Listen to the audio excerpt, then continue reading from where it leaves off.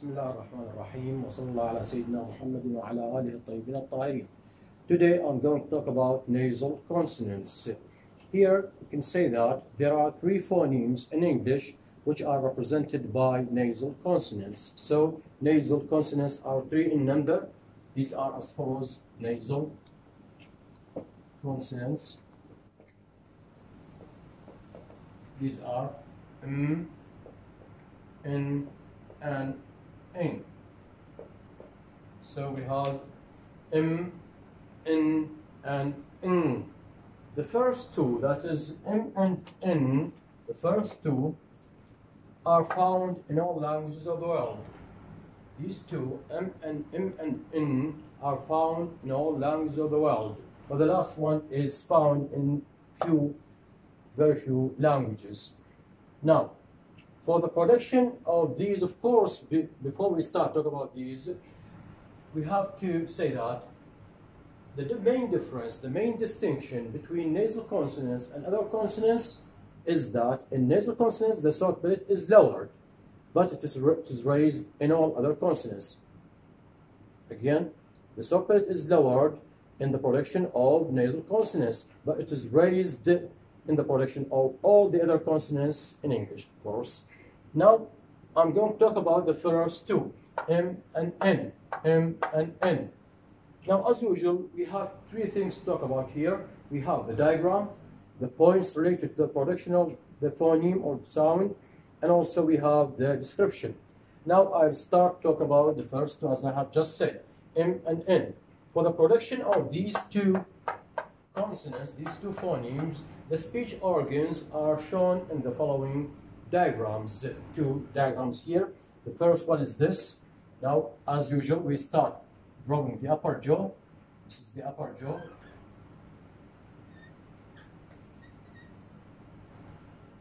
Now, this is one diagram. The what is, is this?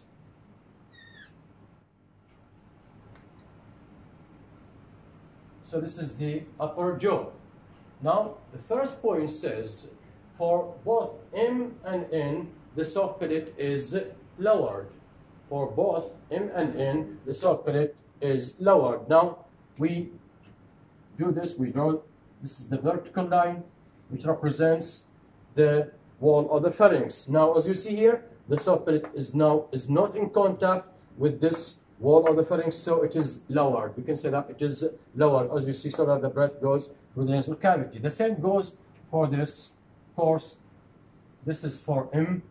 This is the diagram for M, and this is the diagram for N. So as you see here, for both M and N, the soft palate is lowered, you see, so that the breath goes through the nasal cavity, as you see here. Now, the next point, the second point is this. For M, the mouth, of course, is blocked. The oral cavity is blocked in both, of course. So we say that the for M, the mouth is blocked by closing the two lips.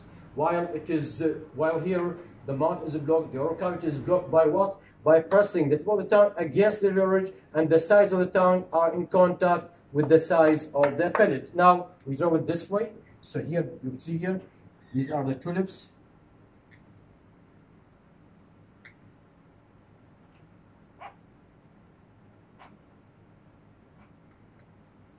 Now, as you see here, the oral must, must be blocked.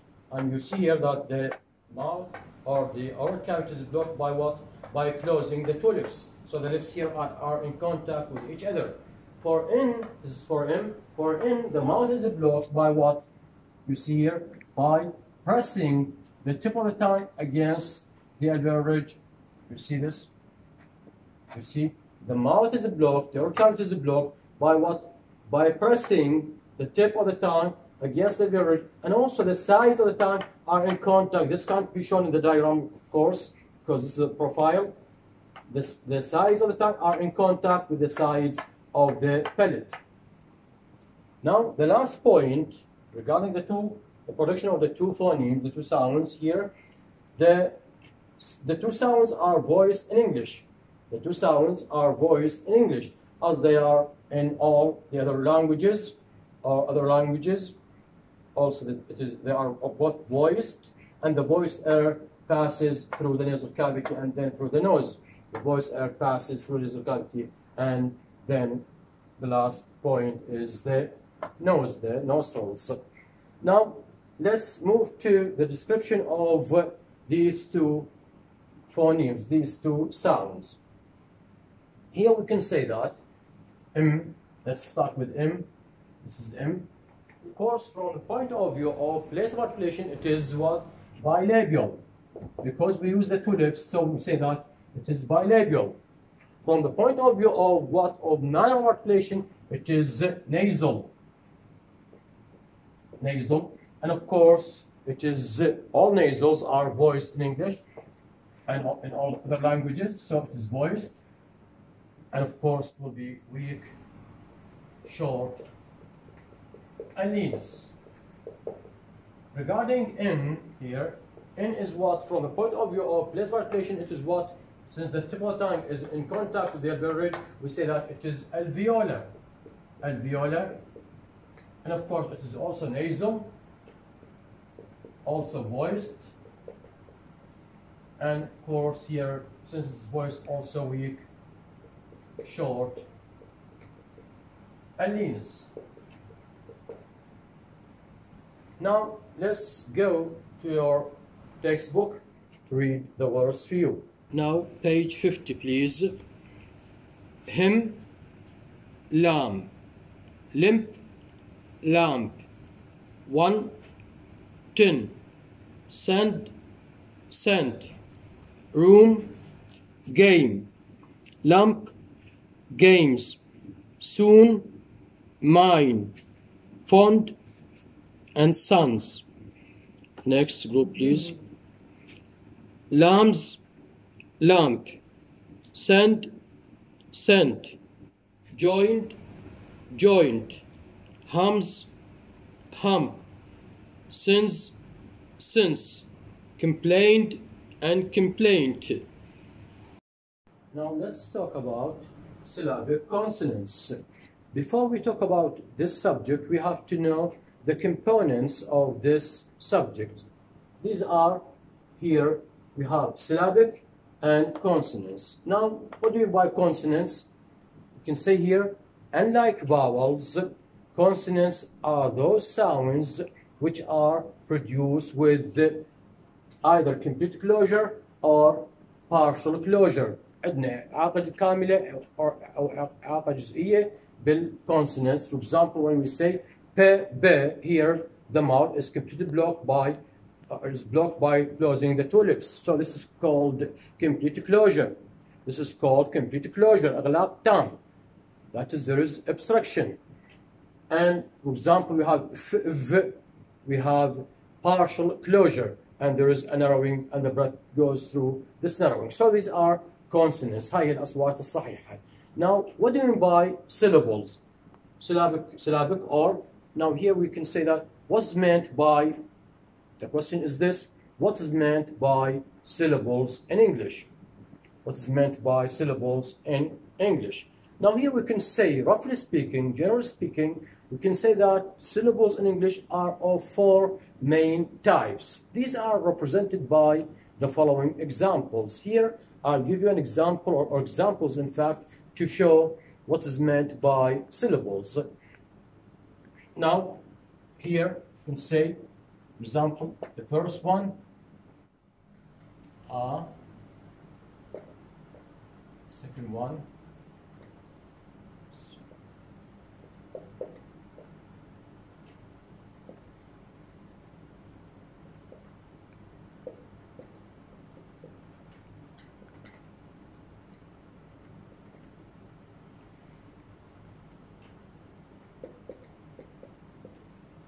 course, when we talk about syllables, uh, we talk about the phonemic transcription, the phonemic trans, not spelling.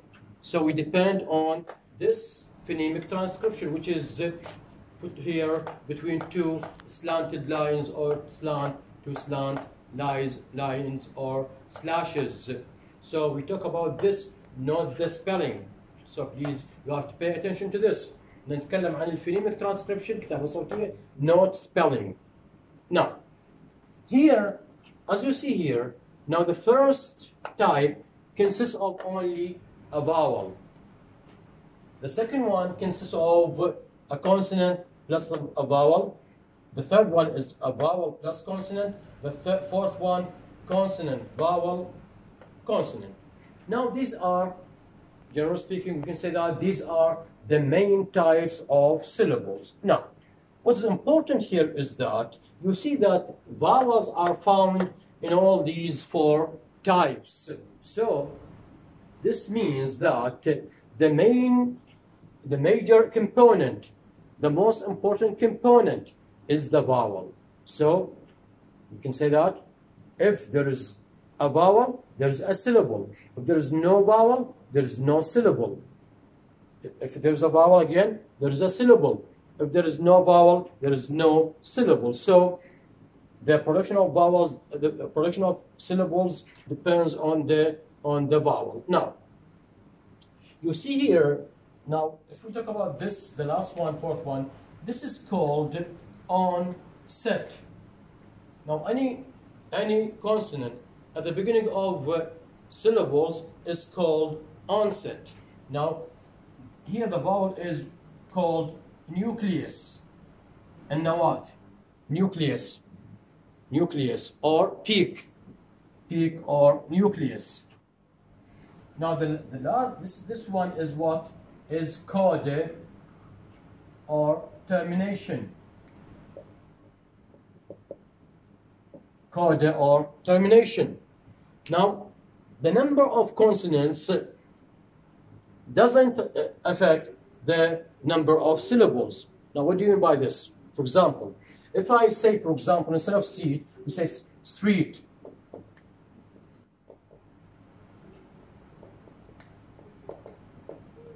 You see here, what do we have here? We have three consonants at the beginning. St, er. So English syllables, English uh, uh, syllables may permit three consonants to come initially.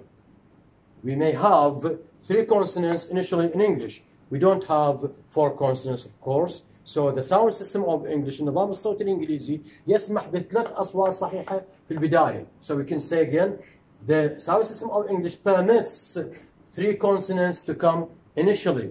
And of course, it permits four to five consonants finally. يسمح بخمسة أربعة أو خمسة consonants في النهاية. Now you see here, s, t, er. Of course, we depend on the phonemic transcription as I have just said, these are three. Now, how many syllables does this word consist of? It consists of only one syllable. And this one, of course, consists of also one syllable. And you see here, consonant, vowel, consonant. Here we have consonant, consonant, consonant, vowel, consonant. We can say that we can represent this by the following way here. In the following way, C, C, C, V, C. You see here, C consonant, C consonant, C consonant, V vowel, and C consonant. Now, so we say that this, this word consists of only one syllable. What I mean is this, syllables are not affected by the number of consonants. They are affected by, by the number of vowels. You see here, this consists of only one syllable there's only a vowel. And this one is also consists of one syllable. But what we have here, what we do have here, we have only a vowel. So there is, we can say that there is zero onset. There is no onset. So we say that there is zero onset. Because there is no onset, we say zero onset. And here also we have what? We have only nucleus and there is also zero coda or zero termination. Now what do we have here? We have onset plus nucleus, but we have zero coda, zero termination. What, what do you have here in the syllable? We have vowel, vowel, which is the nucleus, and coda. There is no onset, so we say that there is zero onset, zero onset. Now in this syllable we have what? Onset, nucleus, coda or termination.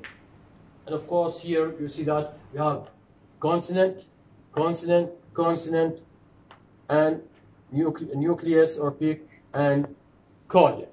So again, the number of syllables is not affected by the number of consonants. It is affected by the number of vowels. Now, now, now let's take these examples to know what's meant by this. High is this high, right? Now you see here, this is the phonemic transcription of high and higher.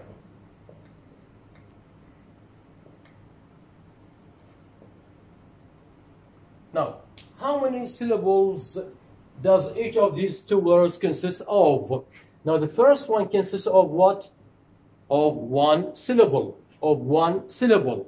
Instead of the fact that we have two vowels here, we have two vowels, but the word, this word consists of one syllable. Why? Because the vowels come together, come one after the other without being interrupted by a consonant. ما يقطعهم consonant هنا فنعتبرهم الآن they are considered or this word is considered of it consists of one syllable. The second one is also consists of one syllable. Instead of the fact, uh, uh, yes, in, the, uh, instead of the, fa- uh, in spite of the fact that we have three vowels, we have a, aya, aya. In spite of this fact, we have three vowels coming together, but still, we this word consists of one syllable. So if the vowels come together, they are considered one unit, let's say, in the in the number of, when talking about the number of syllables. So this is what is meant by syllable. Now let's go to syllabic consonants. What do you mean by syllabic consonants? Now I'm going to show you this. Here I'm going to give you an examples to show this. Now, for example,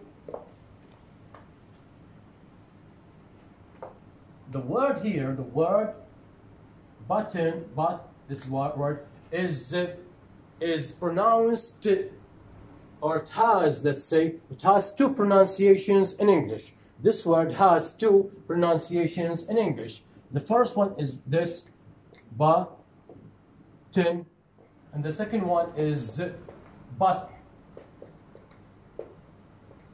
And also, this word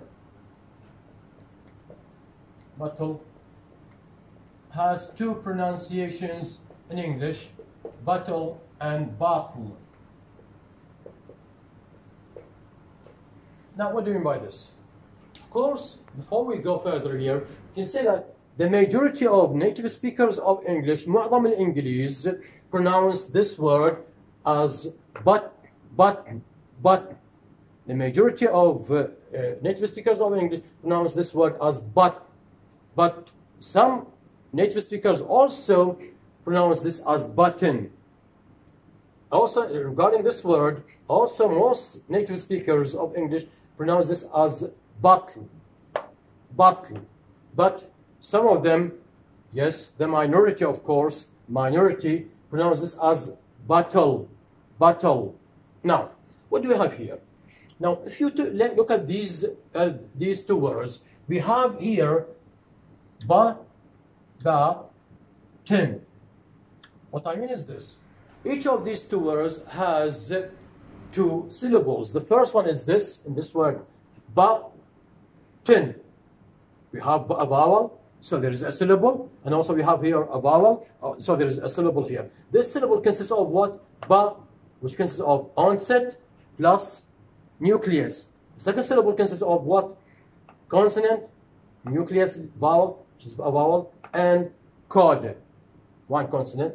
Now, regarding the second word, we have two syllables also, maqta'i, ba, and til. The first one consists of what? A consonant, which is considered onset, and we have a vowel, which is considered a nucleus. The second one, it consists of what? Consonant, vowel, consonant. So we have onset, nucleus, and chord. Now, what do you mean by this? As you see here, in the second syllable, in the second syllable, we have what? We have, uh, uh, there is, in fact, there is a vowel at the center of this syllable. Why at the center? Because we have here, we have consonant and consonant and the vowel is what is at the center في مركز المقطع الآن vowel as you see here at the center of the syllable also regarding the second word also we have here the second syllable المقطع الثاني what do we have in the second syllable we have consonant consonant and at the center there's a vowel usually the vowel is schwa this is called schwa now here we can say that sometimes sometimes not always of course sometimes n or l n or l l occupies the place تحتل occupies the place تحت المكان at the center of the syllable تحت هذا المكان where is it it is at the center of the syllable which is usually occupied by a vowel of course there is a vowel here محتل المركز المقطع الآن vowel so sometimes we can say sometimes not always sometimes we n or l occupies the place at the center of the syllable which usually is occupied by a vowel. And in this case they are called syllabic consonants. Now if I say button button in here is not syllabic. Why? Because it didn't occupy the, the, the vowel. There is a vowel here. I pronounce the vowel. I said but tin tin tin uh, tin. But here if we say button but but here the consonant here which uh, uh, occupied the place of this vowel. So this word is a pronounced here button again look up at these two pronunciations for these two words. Button button button button. Again button button. And about regarding this word bottle bottle. Bottle bottle. Now you see here these are considered what? Syllabic consonants. Syllabic consonants. Of course these are shown by what? By this vertical line.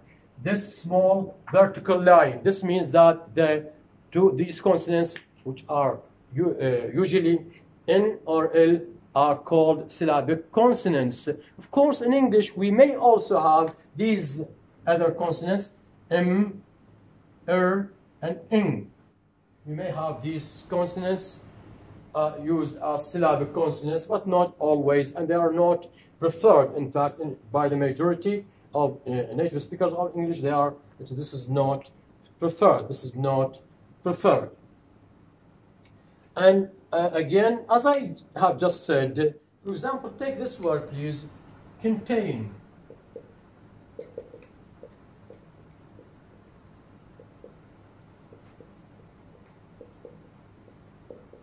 Now you see here, you see that the pronunciation of this word, as you see,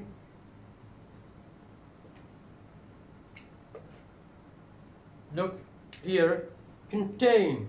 Now we have two syllables Usually, the, uh, of course, this is represented uh, uh, uh, here. We may sometimes put here, put this dot, which means that this word consists of two vowels, two syllables, sorry, two syllables, kin and tain, kin and tain. Now, this syllable, which also has in, for example, is not, is never pronounced as syllabic. In here is never pronounced as as syllabic. So this is why I uh, uh have just said that NRL sometimes are said to be syllabic consonants. So they are not always syllabic, but sometimes.